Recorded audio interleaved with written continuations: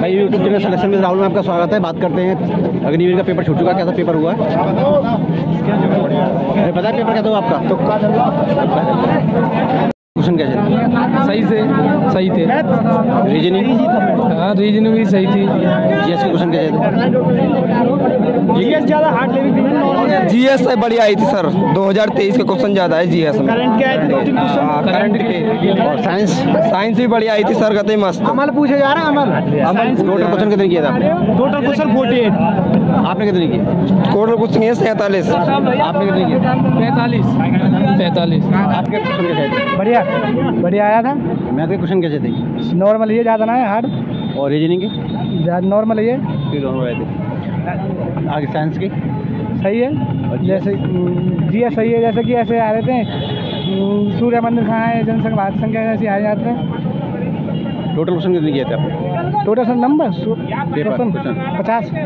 आपके साथ पेपर का लेवल कैसा रहा? सही सही रहा है। सही रहा हाँ। है। इजी था मतलब। पेपर आप बताएँ। Math question math question easy थे मतलब मैथ ज़्यादा हार्ड नहीं था। और जो कौन वगैरह से उससे दो क्वेश्चन पूछ रहा है। और साधारण ब्याज से क्वेश्चन आ रहा है। बाकी औसत से क्वेश्चन पूछ रहा है और हमारे एवरेज से क्वेश्चन मतलब औसत और इससे जो हमारे अनुपात होते हैं रेशो रेशो से क्वेश्चन दो तीन पूछ रहा है। हाँ और जी जी एस है क्या? GS G S G S अपना ईजी थी लेकिन हमारी जो जी एस में दो तीन क्वेश्चन ऐसे हार्ड रख रहा है क्योंकि वो हार्ड क्वेश्चन हमारे लिए हार्ड हैं क्योंकि हम पर नहीं आते। अगर किसी पे आते हैं तो वो हार्ड नहीं है मतलब ईजी है।